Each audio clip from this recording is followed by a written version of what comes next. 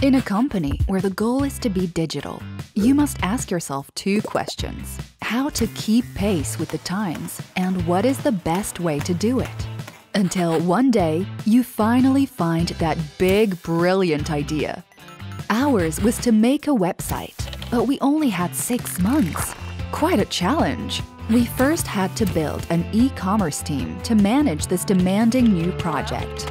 We also needed a technical partner to deal with the complex IT aspects. And then the project was ready to be launched. Ready to come to life in Coulommiers, where we all flew to find inspiration, but there was still a lot to be done. So we went back to our different offices.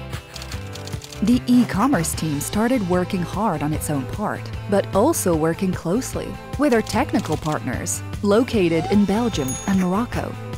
We included the internal SAP department into the project, and new member joined the e-commerce team.